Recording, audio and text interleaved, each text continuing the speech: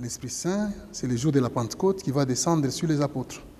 Il va leur donner la force d'annoncer la bonne nouvelle, c'est-à-dire d'exécuter, d'accomplir tout ce que le Christ a fait, tout ce que le Christ a dit de faire. Donc l'Esprit Saint est là comme une force invisible, comme le feu qui allume, qui engage les apôtres.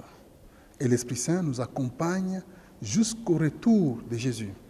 Donc on peut dire la Pentecôte, c'est l'anniversaire de naissance de l'Église.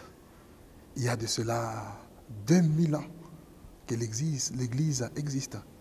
Et donc l'Esprit Saint est en action. L'Esprit Saint entraîne les apôtres à, annoncer la parole de Dieu. Et donc on peut dire, il y a les discours et il y a aussi la réalisation.